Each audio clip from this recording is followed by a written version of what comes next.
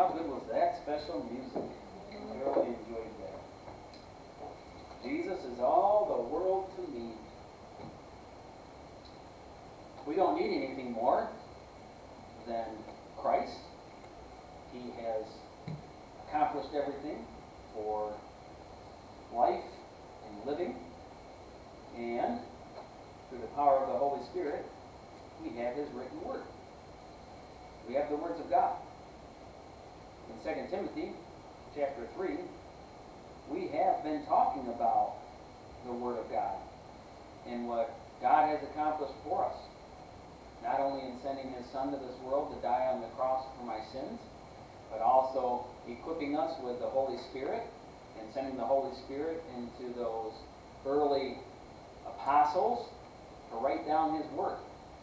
Therefore, as we've been studying and looking at 2 Timothy in chapter 3, all Scripture is God breathed.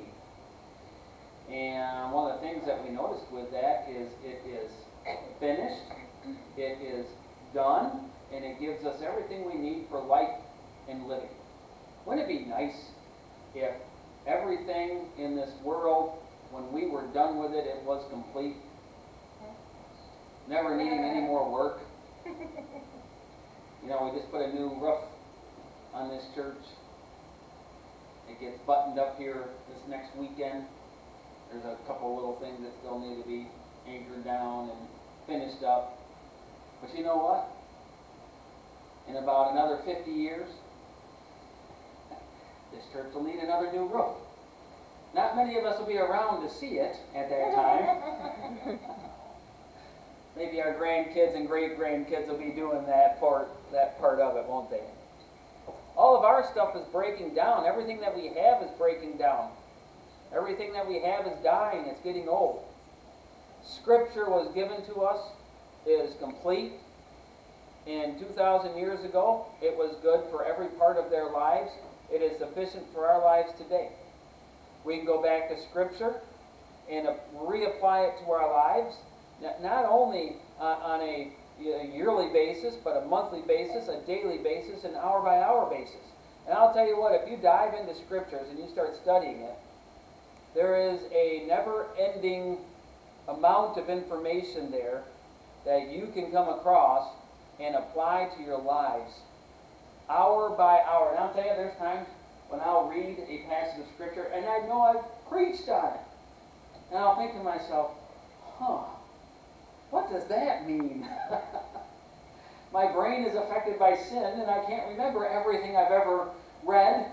And then sometimes people will come up to me and say, Pastor Matt, what does this passage of Scripture say? And I'll have to say, I need to go restudy that and remember what I remembered from before.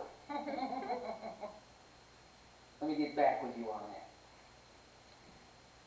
Scripture is sufficient. Scripture doesn't need any help. It doesn't need my help. It doesn't need your help. In Jude, it says to earnestly contend for the once for all delivered to the saints faith. Scripture. What was given to them? We need to contend for it. We must fight for it. We must keep it pure. We must not allow Satan to destroy it. We must not allow outside influences to come in and say, well, our culture today dictates this or dictates that, and Scripture was good for them then. It's not good for us anymore. We must earnestly contend for it. Now, I'll tell you, there have been religions over the course of time that have come and tried to do just that. Religions all over the world many times start with the Bible as its foundation and then they add all kinds of nonsense to it. And you get different religions. Some don't even want to do that. Some of them write their own scriptures and write their own things. but we have deviations from Scripture all over the place. And I'll tell you today, it's hard to find people, it's hard to find churches that believe in the physical resurrection of Christ and believe in the inerrancy of Scripture and believe that even God wrote the scripture or even believe that Jesus is God. We must now allow those things to take hold in our churches today.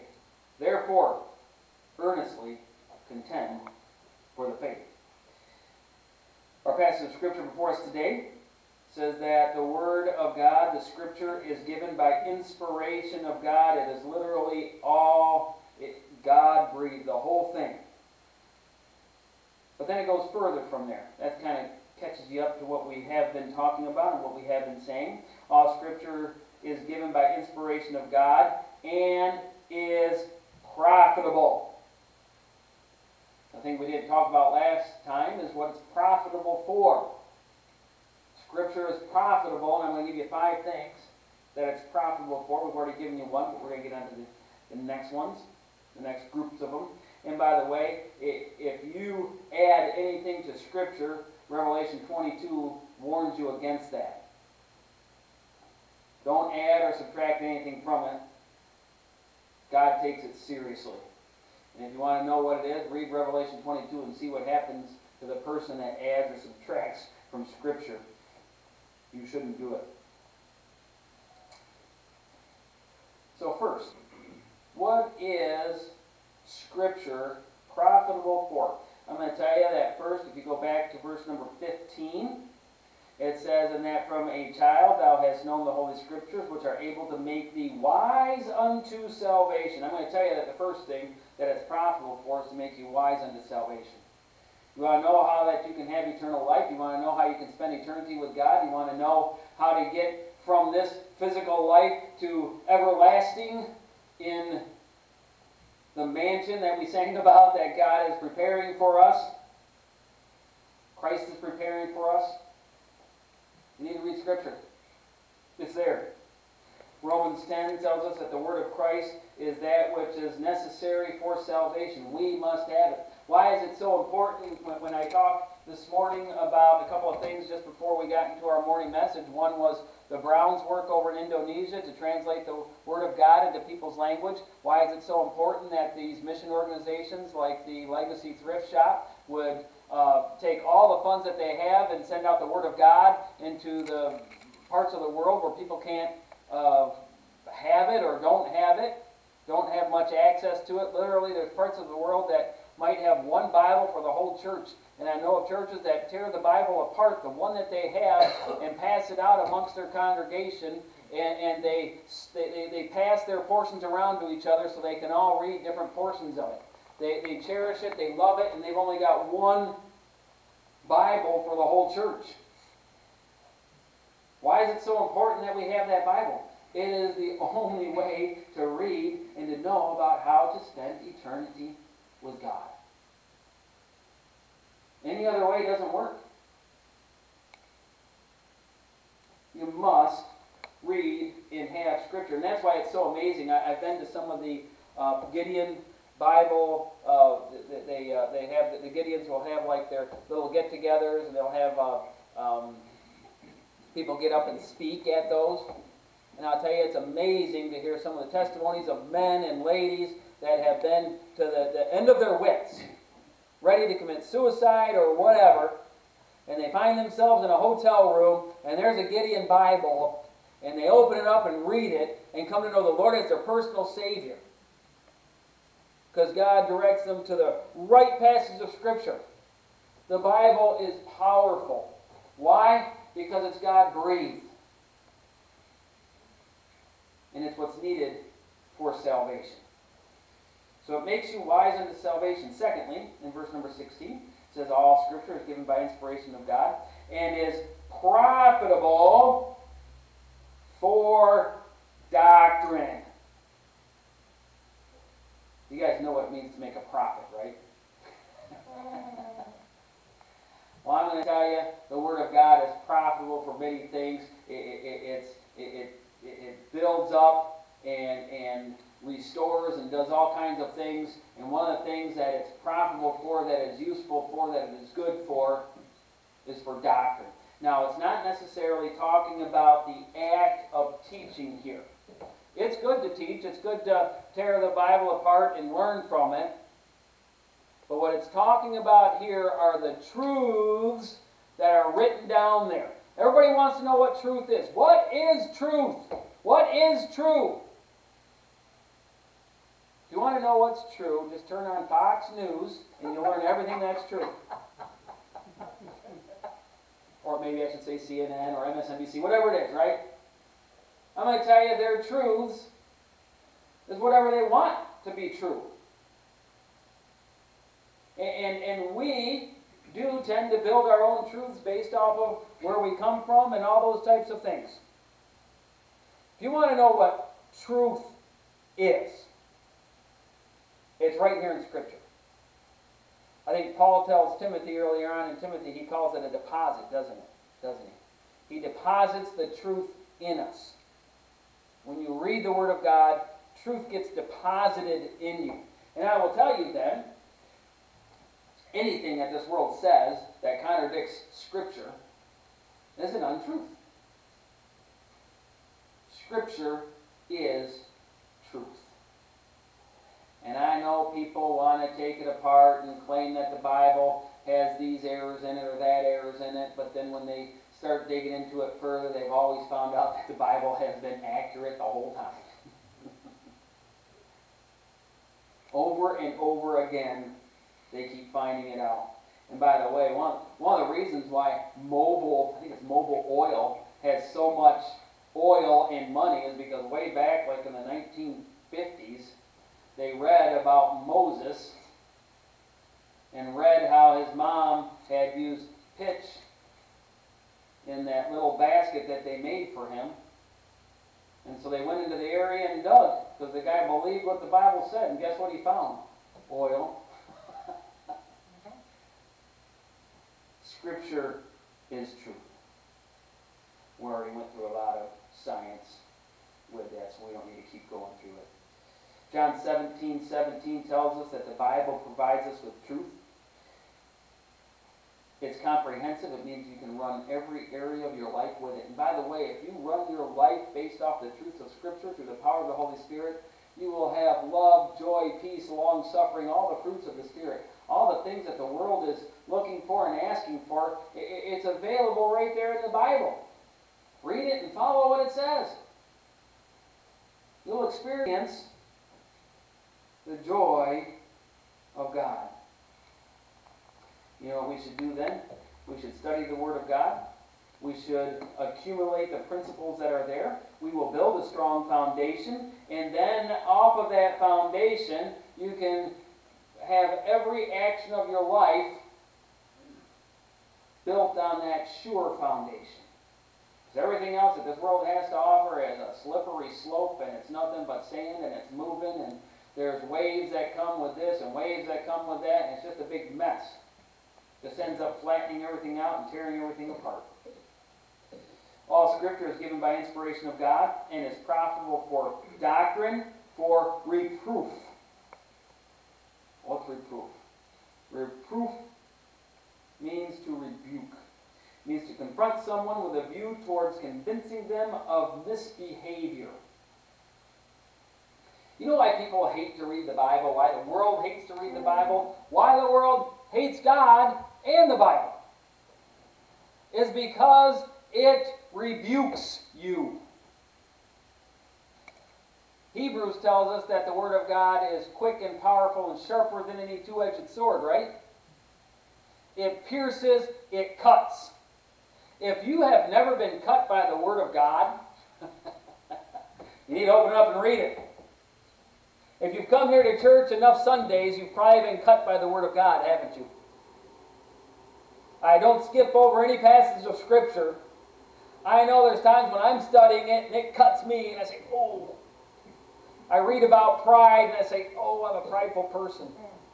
I read about anger and I say, oh, I'm an angry person. I read about different things and I struggle with different things in my own life. It cuts. And it's why the world hates it because it cuts and reveals. You know what it reveals? It reveals your sin. the world hates it because it reveals their sin. Why does the world hate God? Why does the world hate Christ? Why does the world hate Christians?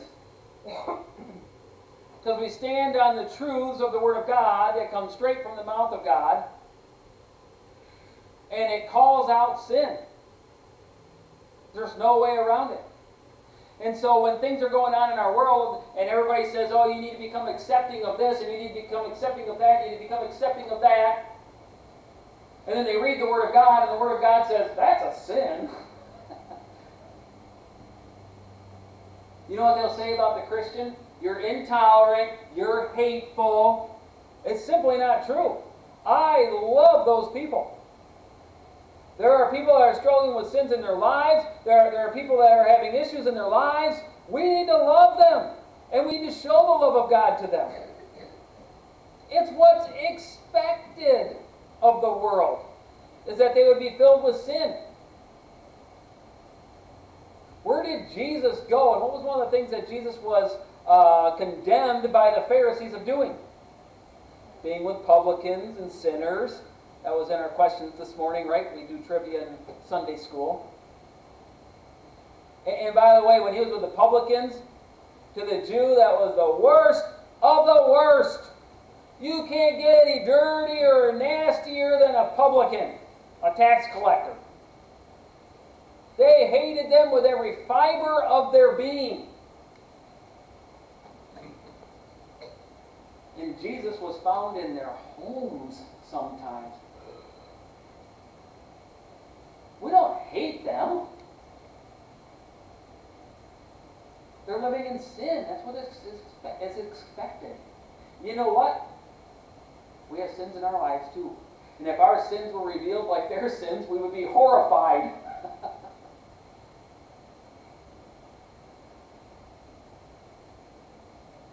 but that's what the Word of God does. By the way, as a believer, should hunger for the words of God to reveal those sins to you. Then you do what 1 John 1 9 says, confess them. Then you memorize passages of Scripture to help you defeat that sin. And then you're growing. You know what else reproof means? Not only to uh, show to show your sins, but it also uh, reproves error. Anybody that comes into the church and starts bringing in false doctrines, the Word of God will show that false teaching. And if you know the words of God, you'll recognize a false teacher right away. They'll say all kinds of things where you'll be like, oh, wait a second. And by the way, if he stands up and just talks about money and that's all he's talking about, you should have some red flags going up.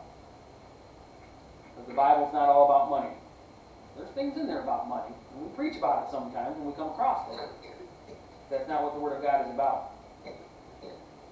By the way, Isaiah, Isaiah chapter 8, verses 19 and 20 says, When they say unto you, Consult the mediums and the spiritists who whisper and mutter, should not a people consult their God?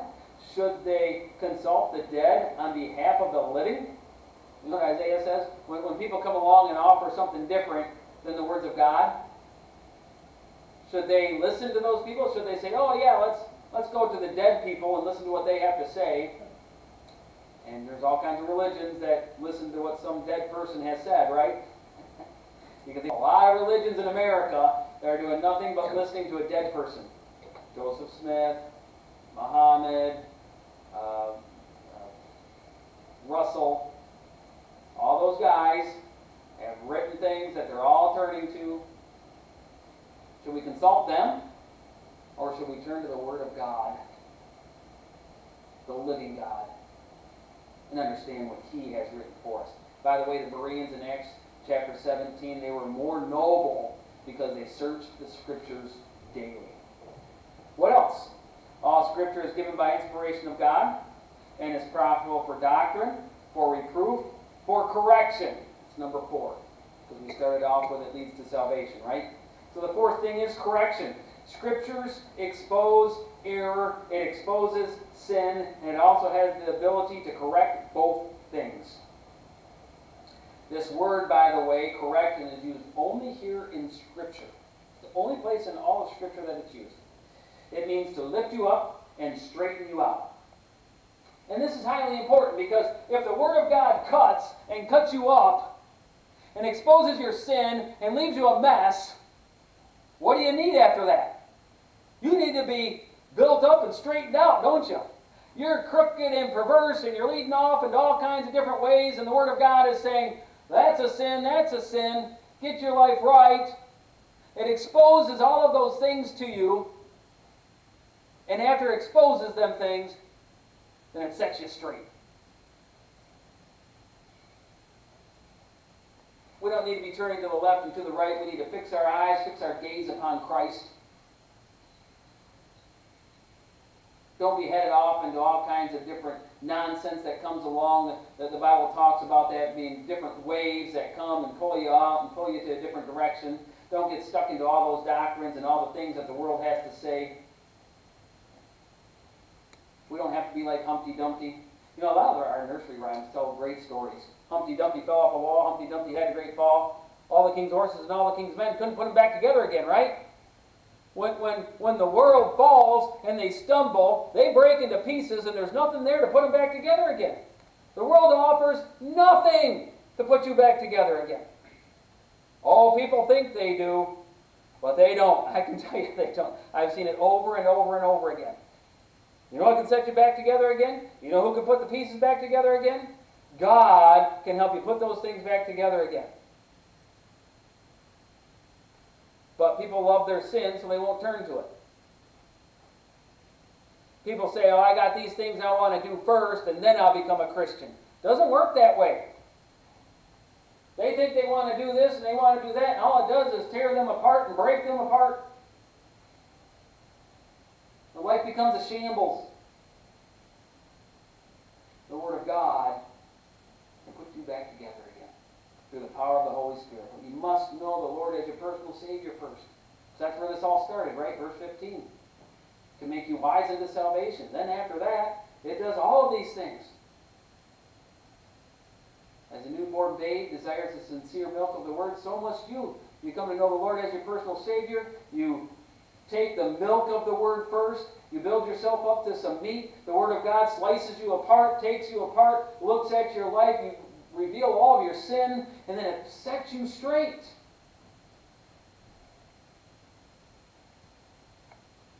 Through the power of the Holy Spirit and the Word of God, our lives can be put back together again. And if your life has been tore apart, lean upon God. Colossians 3.16 says, We are to let the word of Christ dwell in us richly Acts 20, 32, the Word of God will build you up. All Scripture is given by inspiration of God. It is profitable for doctrine, for reproof, for correction, for instruction in righteousness. So literally number five because we started with salvation, right? Instruction in righteousness. What is instruction? It's what you do for a child, isn't it? The Word of God helps you to mature, helps you to grow. That's one reason it's there for. Reproof is part of training, part of building you up. And it trains you unto holiness, it trains you unto righteousness.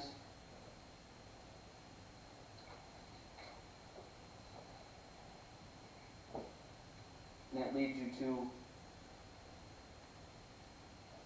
righteousness, which means right living, right? It's really what it means in a nutshell. It means way more than that, but just so we can have an understanding of it, it's right living. So once it does all those things, you come to know the Lord as your Savior, you start reading it, it starts cutting into you, you start cutting those things out of your life, start building you back up again with a living and righteous lifestyle. Doesn't mean that you're never going to sin. We have all the tools available to us to never sin again. But our flesh still gets in the way. And when our flesh yells at us as you're growing towards righteousness, you can start saying no to it. You can begin to say no to it. God helps you do that. The Holy Spirit helps you do that. And then you know what it does? How successful is all this tearing apart and putting back together? How successful is it towards getting us towards righteousness? Verse number 17. That the man of God may be perfect. So, because I'm your pastor, and I've been a Christian for uh, 40 years or whatever, 45 years, whatever it is, I'm perfect. I never sin anymore because I've got all this down. Well, that's not what it's talking about here, right? I am not perfect. I sin, I struggle. I get angry. My pride takes over sometimes. I think I know it all. When I think I know it all, and God smacks me down many times. I find out I don't know it all. it's easy to get stuck in all those things, isn't it? What does it mean to be perfect? First of all, you have the ability to be perfect. Is one of the things it's referencing there. You have the Holy Spirit, you have the Word of God. You can die to your flesh daily. You can say no. God can help you with that. But it also means that in God's eyes, God sees you through the righteousness of Christ. And you're perfect in His eyes if you're a believer. All of your sins have been paid for by the blood of Christ. But then, because you can be perfect, because you are perfect in God's eyes, you know what all this leads to? And what you should be doing, what, what, what this the, the, the outflow of all that cutting and building back up should be. Look what it says there. Thoroughly furnished unto all good works. Good works is the outflow of uh, everything coming in. You're not just a funnel to store everything. The Holy Spirit doesn't just come into your life and just, you know, stay there and never becomes involved with anything. The Word of God doesn't come into your life and just harbor in there, and you have all this knowledge and you have all these, these things that you're working out in your life, and, and it's just all there inside of you, and, and you hide it from everybody.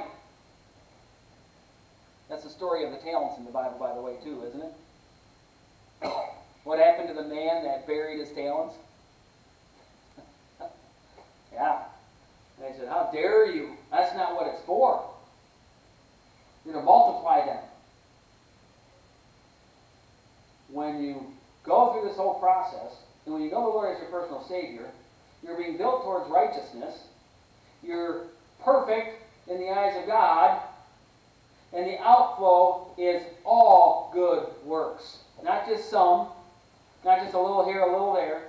The outflow, your whole life should be good works. You know what good works are? Good works are anything you do in the power of the Holy Spirit. If you go off and just do something nice because it makes you feel good, not a good work. Now, being filled with the Holy Spirit and doing a good work, let me tell you what, that'll make you feel good. There's no better feeling in this life, right?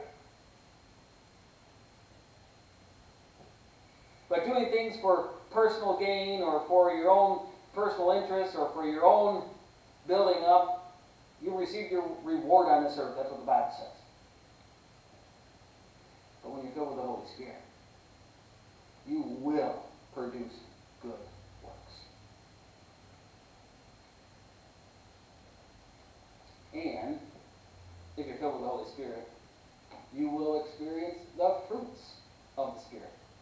You know what those things are? Love, joy, peace, long suffering, gentleness, goodness, kindness, faith, meekness, temperance. Everything the world is looking for. Let's have a word of prayer. Our gracious Heavenly Father, we do just thank you for this lesson that you've given to us.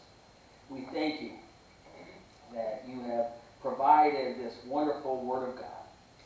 All Scripture is given by inspiration of God. Father, there's nothing lacking there. It's good for every part of our life, everything that's going on inside.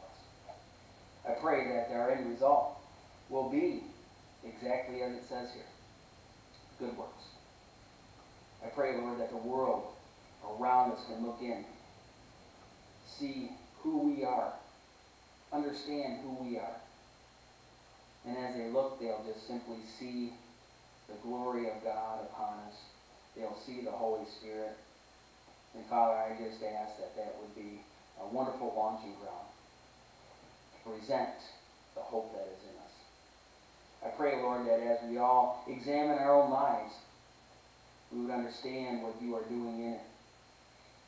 And Father, I pray that as we read your words, which is how you speak to us, we'll allow those words to infiltrate our life, to reveal who we are, and it'll change us, that we will do as the Old Testament says, eat your words and make it become part of us. And then, Father, may the outflow be exactly as you have said it would be, which is good words. Lord, now I just pray that as we go out into our world, that we will be your light. We ask these things in your name. Amen. Would you have a closing Can I give a word of testimony? Sure.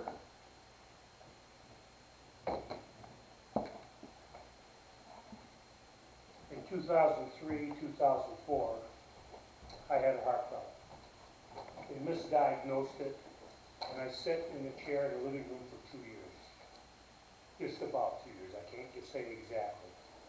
In that period of time, I decided that I wanted to study the Bible. Now, I've been through Bible colleges, New Tribes, the whole nine yards.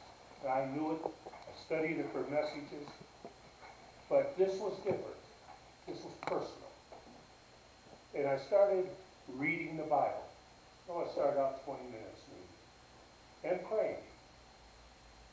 I had nothing else to do. All I could do was look out the window. And so I started reading, and before I read, I asked God, what is it that you want to teach me in this? I'm open.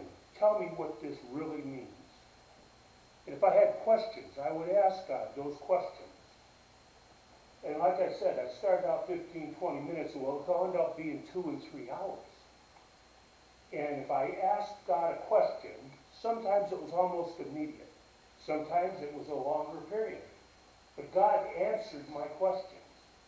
And God showed me not just the theology, but the personal application to those things. But if we don't ask, we don't receive. And this is an, this is an opportunity for all of us. This pastor teaches great, he tells you the truth. But that truth and the application of that truth is what's important. And you can only do that through God. He's the one that teaches you. He's the one that opens your eyes. He's the one that empowers you. That's a life-changing experience for me.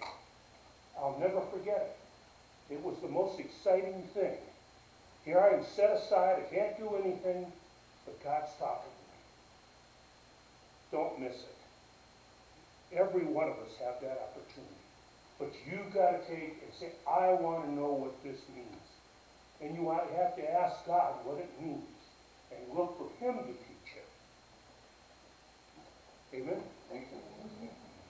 All right, number 363 in your hymnals. 363, leaning on the everlasting arms. We'll sing first and last stanza, number 363.